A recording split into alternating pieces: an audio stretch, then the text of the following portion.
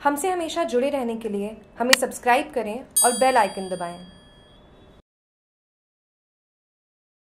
मुख्यमंत्री वसुंधरा राजे पहुँची रणकपुर। साथ में पार्टी के राष्ट्रीय उपाध्यक्ष ओम प्रकाश माथुर, केंद्रीय मंत्री गजेंद्र सिंह शेखावत, केंद्रीय मंत्री पीपी चौधरी, मंत्री पुष्पेंद्र सिंह राणावत लक्ष्मी नारायण दवे पुष्प जैन ने किया स्वागत। एक होटल में कुछ देर में शुरू होगी रायशुमारी। पाली से जागरूक टीवी की रिपोर्ट।